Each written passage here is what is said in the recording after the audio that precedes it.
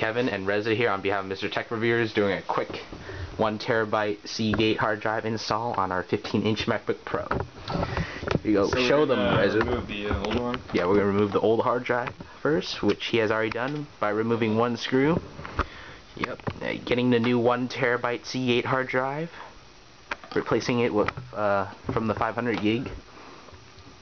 There he is. Uh, he has to connect the SATA and power into the new hard drive. Alright, Alright, he's done it. Uh, he's going to put it back in and put the screw back in. there we go. Yep. As you can see, it's very simple, guys. And we're just gonna put the Uh, battery in. Yeah, he's gonna put the battery back in. Very nice, very nice. Pan out, let you guys get a good look at this.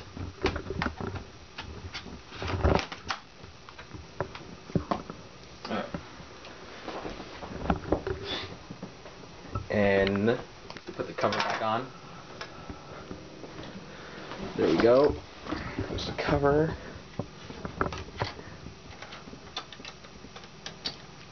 Made out of aluminum. And that's it, guys. That has been our quick install of uh, a Seagate 1 terabyte hard drive on the 15 inch MacBook Pro. This is Kevin and Rezes. On behalf of Mr. Tech Reviewer, signing out.